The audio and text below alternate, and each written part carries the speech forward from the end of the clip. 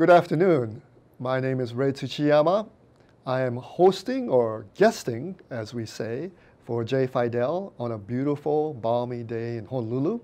We have a great backdrop of sky and sea that we'll be talking about a lot more with our two guests, and they're from the University of Hawaii, uh, U.S. Carnegie One Research University, with lots and lots of research topics going on, and one of them is dealing with the ice and what its implications are for society in the future. And we have guest Professor uh, Chris Measures, and uh, welcome to the show. Thank you. and we, ha we have Dr. Mariko Hatta, Hi. who is a researcher at uh, the University of Hawaii in this area. And tell me, Chris, what department do you belong to and what's it, what it does? Well, we're uh, both members of the Oceanography Department. I'm a teaching faculty member. Uh, Mariko is a researcher, as she can explain herself.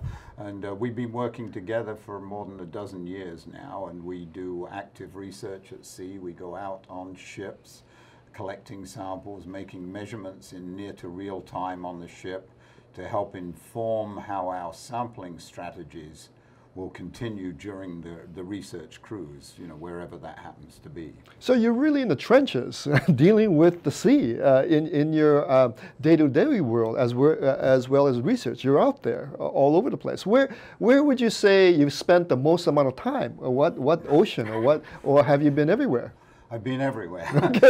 it's hard to say, but I mean, yes, I mean, the data is out in the ocean, so we have to go out there to get it. I okay. mean, if you want to know about the world, you have to go and sample it. And Dr. Hatta, uh, where, uh, where are you from and what university did you take your PhD? So I'm graduated from University of Toyama, which is inside Japan and like middle part of Japan, like beautiful coastal side and mountain side. And how long have you been at the University of Hawaii? That's about 11 years. Okay, so, so uh, here you are together. And what is the topic? What, what is the, I guess, I sense urgency from you, uh, Chris and, and, and uh, Mariko, about what's happening in the ice that seems to suggest something. What is that uh, going on? Uh, in, and, and why is the ice so important to understand uh, in, in uh, really projecting or what we see as history of climate change? Well, the, the ice is very important. I mean, we, we could go back a bit further to see how this project first uh, evolved, but but just to answer your question directly, uh, one of the things that people who are in, interested in understanding climate and the history of climate on the planet is we now know that the high latitude regions are the ones that will respond first hmm. towards climate change. And so and why is why why is that? In, uh, as the, as the you know Earth is a round orb, what what why does it happen first or uh, something at the top? You know, that's a good question. Oh. I'm not sure I'm qualified to actually answer that properly, and so I don't want to give a okay. false answer. But basically, the high latitude areas are more susceptible to warming. Okay. And of course, you know, once you have the phase change from ice to water, I mean, that is a big change right. in terms of the properties of the surface of the Earth. But if we go back a bit further, the, the project that we're going to talk about today, the Arctic, was actually just one of several of a big, large international project that was started about, I want to say about 14 years ago. We had an international meeting in Toulouse, France, where a lot of trace element scientists, we we measure trace elements on the right. ship. Now, trace elements are not of much interest to most people because basically, you know, they don't even know what they are and why should they care but we use them as traces of processes in the ocean. So they're like dyes. I like okay. to, you know, and they have different colors. So we can look at the ocean and we can envisage the processes that cause the distribution of trace elements if we understand them properly. So about 12 years ago, a group of us got together to put together a big international program mm. called GeoTraces. There were 20 of us wrote a science plan which then went out for international review by large numbers of bodies, and then we got comments back and we finalized it. And it was finally approved by the IGBP, which is a big international global biosphere program. And we started the program with, I think, probably about 10 countries involved, and now we have about 28 countries Wow. involved. We produced a science plan, and uh, we now have cruise tracks around the world which are to look at the distribution of trace elements in many different areas, covering different hydrographic and biological regimes to understand how those distributions come about and how we can use them as traces of process, not only in the ocean today, which of course they are, but also those signals are recorded in the sediments. So by carefully looking at sedimentary concentrations, we can go back and look at how the ocean was long before there were any oceanographers or even any people. Uh, sediments meaning uh, at the bottom of the ocean, right? Yes, the earth or yes. Yeah, whatever, and, and the all mud. the, the clams and so forth kind of Right. Well, in the deep ocean, there's no clams, Well, clams, but but, th- yes, there's a lot of things that come saying. down and then kind of have a whole uh, uh, history of what's been happening. Oh, great. And the sediments record uh, history of the planet going back millions of years if you can go down deep enough. And that's similar to uh, scientists uh, doing cores in the ice. Am I correct? Uh, How was the uh, um, you know uh, trace elements, or uh, what percentage was oxygen or carbon dioxide? Yes, you know, yes. uh, hundred thousand years Yes, ago, kind yeah, of thing. the Vostok Yeah, ice core. right. Yeah, it's a very similar thing. Okay. And, and again, it's because of a, a- an accumulation bit by bit over time. And once you understand how that works and you can date it, then you can go back and start looking at how the planet has changed over time. Shall we go to the first slide, or um, Yeah, we could show Okay. uh, one of the slides up there, which actually uh, I'll talk you through those. Okay. We didn't put them to. Oh, so this is actually an example of. Right. Uh, this is um, the cruise tracks of the GeoTraces Oh. program. All the ones that are in black are the ones that we've already Okay. taken. Right. So different countries are doing different cruises. No one country can afford to do so? that. There's a lot at the top and some at the bottom, right? A little Right. bit at the bottom, Right, and so actually the ones you see there in uh, yellow, these are the ones that the US occupied. Oh, okay. But France, Germany, there are 28 countries putting their resources into Right. this. In fact, the one in red in the middle that you Right. see is actually the one that's uh, planned for 2018. Wow. And actually, Mariko is now the PI on this grant. Oh. and She just found out she was funded a few weeks Oh, ago congratulations. by National Science Foundation. Yeah. So she's going to be the boss. You know, now it looks like the uh, uh, Dateline. Well, it is. Oh, oh, oh, Well, it's oh. meant to go down. So- it's not on the date line, but it's meant to So go I down. passed the Dateline and had to wear a funny hat. Oh, King, yeah. King, Neptune was there. All right. Well, okay. Usually do that on the Arctic and Right. Antarctic Okay. and equatorial crossings. So I have been on the ship. Uh, so the first uh, slide. You want the next one? well, let's have a look. um, Okay. All right. So this is actually the cruise Thank tracks that we had in the Arctic. and- Wow. And, we were actually doing this with other countries, so Canada and Germany, as you can see, and the USA. Oh. Actually, at one point, Spain wanted to be involved in Norway, but they could not Oh. get funding for their cruises. But we divided up the Arctic into uh, these different sections so that we could all on the same year get samples, Right. compare our data together, and then we will get a picture of the whole Arctic. So there's some on the fringes, I guess, Yes. uh, of the Arctic uh, uh, center of the North Pole, and, and some right at the uh, uh, at, the, North, Pole. Yeah. Yeah. So so when I look at this, uh, Chris and uh, Mariko, you can chime in. Uh, the no- North Pole and, the, and the, the highest point of our uh, planet is not. There's no Earth. It's No. just water. It's just and ice. Am I correct? Yes, And, that's uh, correct. yeah. So uh, and Greenland is a big island with rocks and you know, Right, it's yes. Earth, right? Uh, But it's covered by by ice. Yes, Okay. correct. Yeah. Right. So the Arctic is covered by ice usually in the winter, and then that ice melts again in the summer. We'll come back to that Oh. Right, maybe later right. when we look at the uh, how that's changed. Who, who owns the Arctic? Ah, that actually we had a good talk at the UNOLS meeting not long ago. The law of the sea is very complicated Yes. here, and uh, the, it was very badly written by Oh. lawyers who don't know uh, much about earth sciences. Yeah. And it's quite possible that the Russians could lay claim Wow. to most of the Arctic based on the way the law of the sea was written. Yeah. And that might mean that no other country will get in there to do oceanography in the future. oh, that's uh, that's bizarre. But That they do, but they do have uh, uh, some uh, um, Spitsbergen and some islands Oh. up there, but they're very close to the Arctic. I mean, that's Russian territory. Am I correct? Well, Spitsbergen actually is run between Norway and Oh. Russia. That's actually a cohabitation. Oh. there used to be a lot of coal mining there. Yeah, oh. I almost got there once, but my ship I was getting on got stuck that's another story. Anyway, it's a different right, story. another slide. Go ahead. Well, this tells us a little bit about how the Arctic works. So, one of the reasons for having uh, an expedition to the Arctic is it's a very unusual ocean compared to the others. And why? Because it's covered with ice. Right. So, you form ice every winter, and then that ice melts in the summer, and it gives you a layer of fresh water on the surface. And when you get fresh water on the surface of the ocean, you can no longer make deep water, which means you can't sink water Hmm. Right. from the surface. So when we stop doing that, the whole circulation of the Arctic will change Right. completely differently Be- because, what it is as I understand, there's a, uh, in the, um, uh, movements of great rivers of deep water that go along the ocean that has a lot of effect on climate.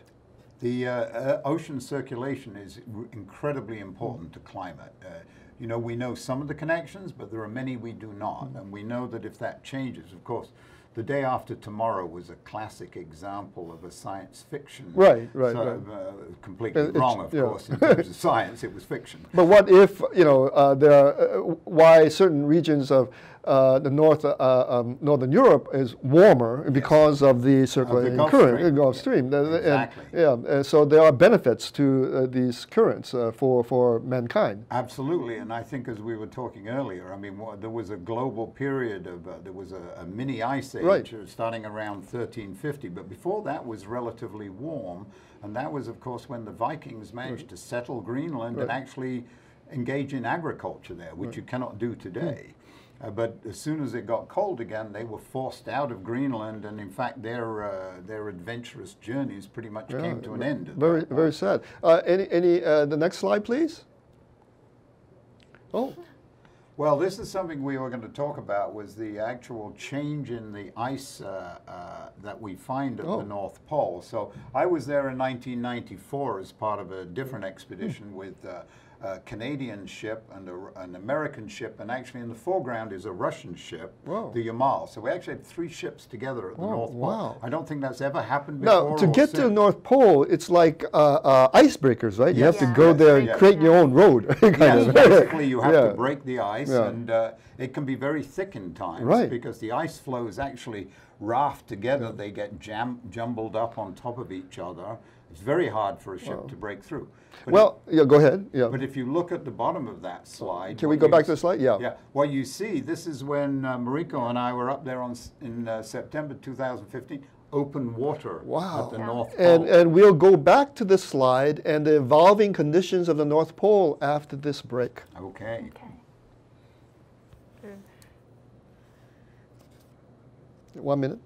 Yeah.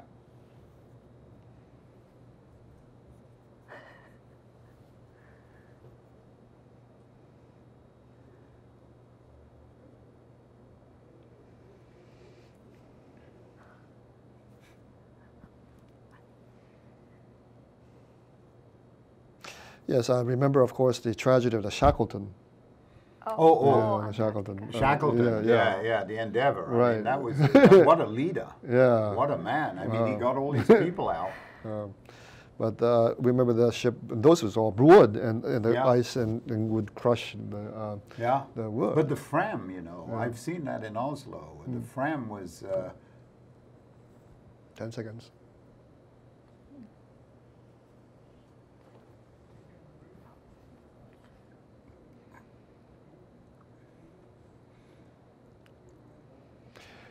My name is Ray Tsuchiyama. We are back in the middle of an exciting discussion on conditions in the, in the north of the world, which has a lot of lessons. It has a lot more uh, insights to climate, and through researchers like Chris Measure and uh, Mariko Hatta, we are discovering a lot more on how uh, we understand uh, all these things happening in the ice and oceans. So I'll go back to another the slide uh, that we have, or you want to move to a new one? well, we Yeah. could just finish Okay. looking at. uh, Can we have the last slide up, uh, please?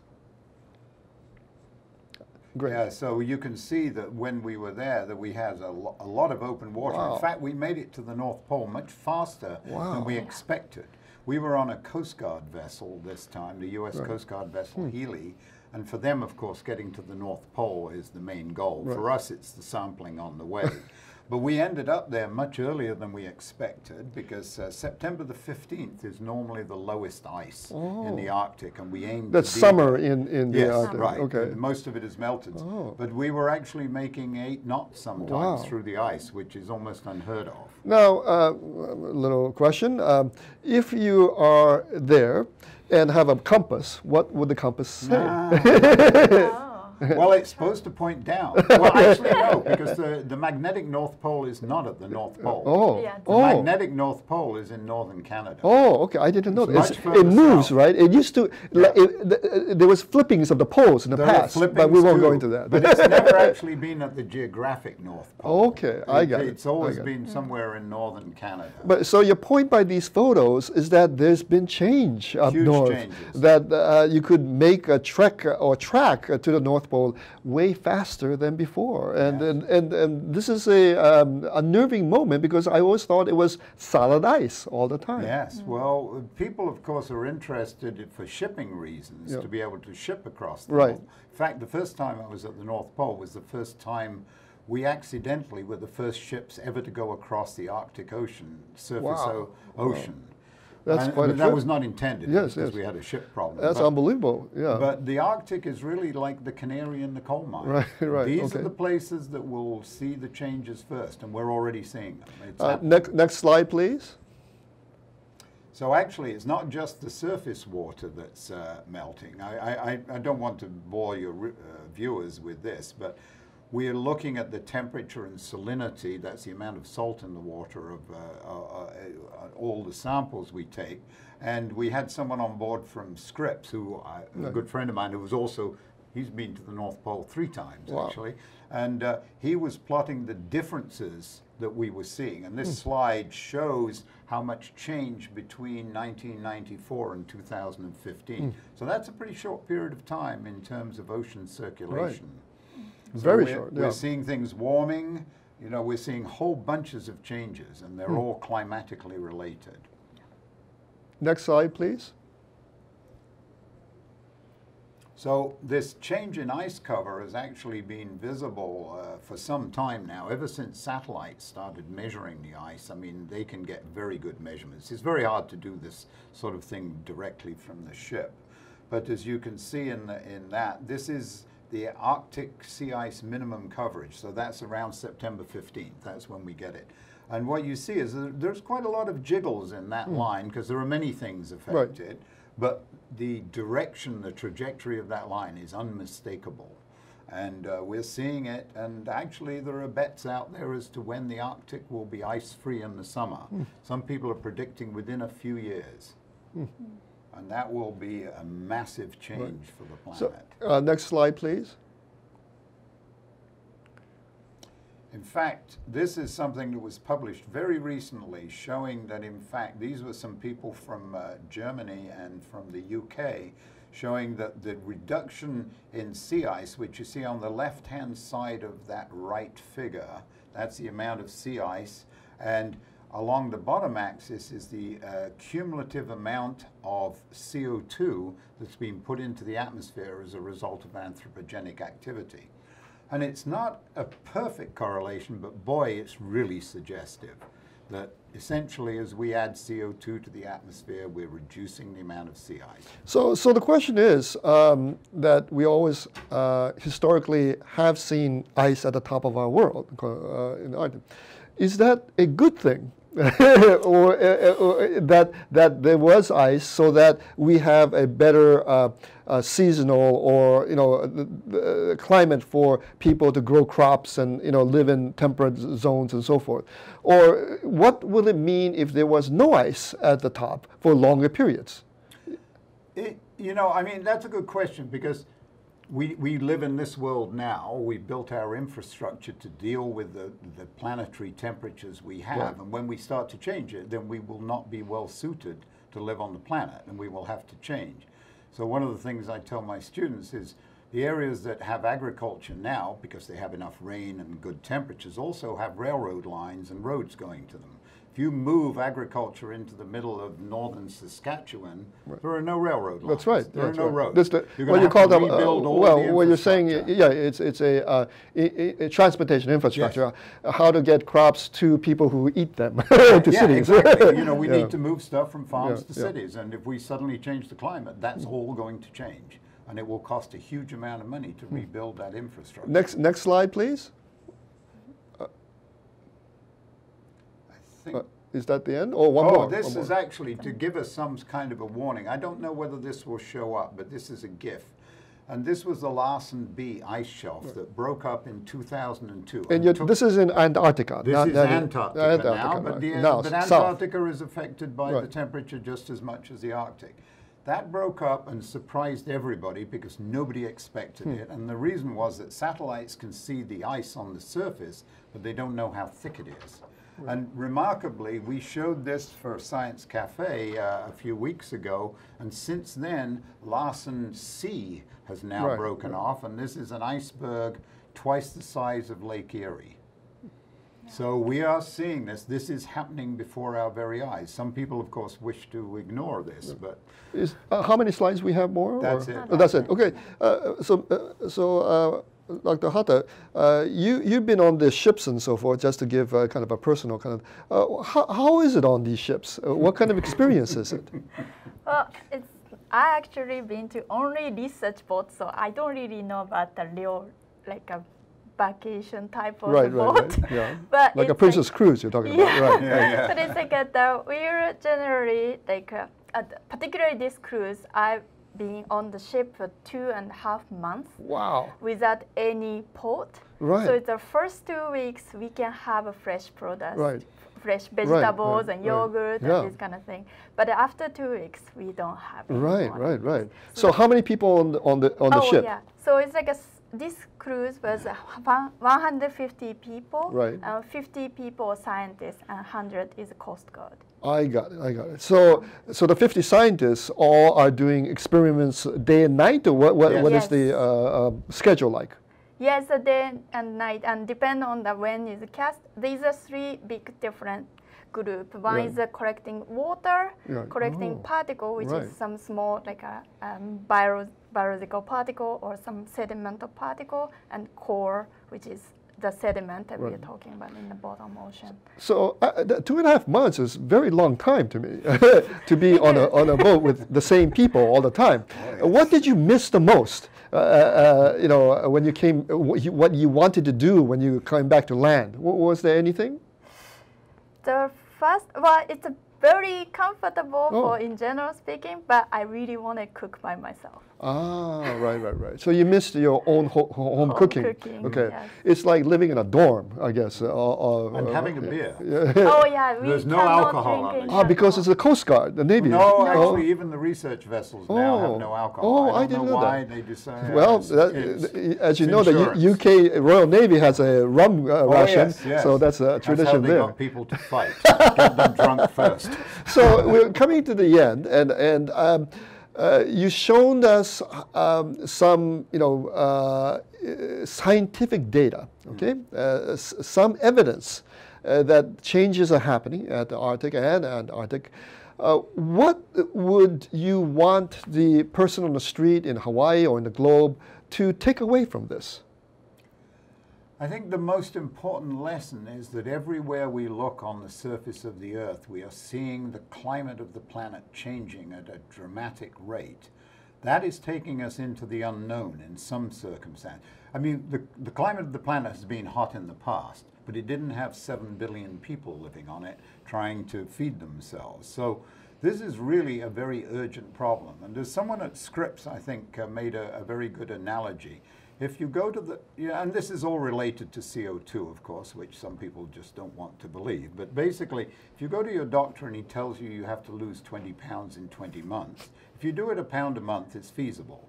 If you don't do anything and you're after 19 months, you've got to lose 20 pounds, you're never going to do it. Right, right. And this is the problem with climate. Right. If we don't do something now, it will become harder and harder until it's impossible to change the trajectory, and that's very scary. And in a very substantial way, what do we have to do as a society, as an industrialized society? We have to learn to live in the most uh, sustainable manner we can. It's not possible to not affect the environment, but we have to minimize those effects, particularly the ones that we think are most dangerous. CO2 is one that is actually relatively easy to avoid. I mean, it's just a question of money and finding our power from other places. Use, use fossil fuels for making plastics. That's actually a very good use of them. But burning them for energy is a very poor use and it's dangerous. Well, we're coming to the end, and I must thank you both for giving your insights. I'm reminded when I was working for MIT, the experiences of uh, Mario Molina, Oh, yes, professor, who proved that it was a hole uh, Yes. uh, uh, created by fluor, uh, fluorocarbons, um, uh, refrigerators, and Yeah, so forth. right, the CFCs. And, and, and the CFCs, and, and they took a dramatic step of ending CFCs. Yes, and it's taking 50 years to recover from oh, that. And and But we and- have, we are but that's that, but that is a case study Yes. that uh, science and data did ch- uh, change policy and um, Yes. you know in a society. Uh, so so it can happen. Uh, Yes. uh, and I think what you need, what we need more is people like yourselves to carry out a scientific case to our leadership, government leadership, and, and industry and business, because this is not just one-sided. It's a whole society kind of a movement. I think. Well, but we do need them to understand that science is the truth. It's not a political issue. Scientists are not politicians. We search for the truth, and we are not making this stuff up. Right? Well, science is, is to understand the Yes, world. That, that is the, that is that's the our goal. goal. Thank you so much for joining us today uh, on uh, Research in Manoa. And again, uh, we thank you for viewing ThinkTech in Hawaii.